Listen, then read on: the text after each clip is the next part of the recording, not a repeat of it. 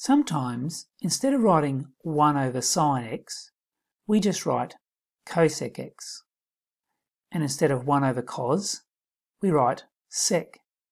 And instead of 1 over tan, we write cot. These are just shorthand. It, it just means we can write a little bit less messy um, fraction stuff. We can just write one function instead. Cosec is 1 over sine. So obviously it's not defined when sine is 0. And sine is 0 for multiples of pi. Sec is 1 over cos. And cos is 0, so sec is undefined, when x is an odd multiple of pi on 2.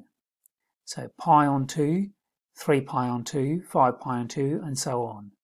At those points cos is 0, so sec is undefined. Cot is 1 over tan.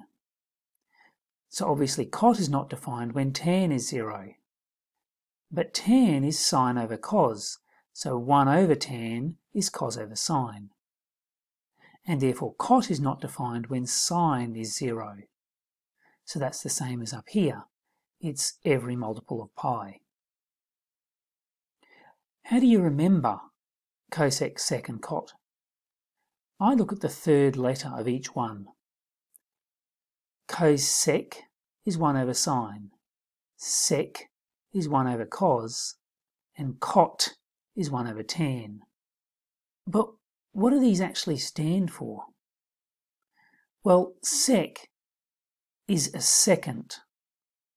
Let me see if I can draw this for you. In a circle, a line that goes through the circle, that was meant to be a straight line, is called a secant. This part of the secant is called a chord. If the secant just touches the, the circle at one point, we call it a tangent. That's where these words come from.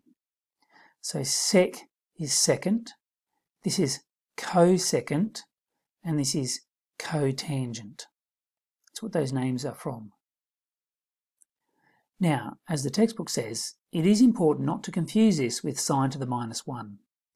So, unlike the normal algebra, where something to the power of negative 1 means 1 over it, with the trig functions, the negative 1 means the inverse function.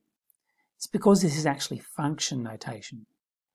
If you want to have the reciprocal, you would have to go sine x in brackets to the power of negative 1. Normally we don't write this. Instead of this, we write 1 over sine x, or, for preference, cosec x.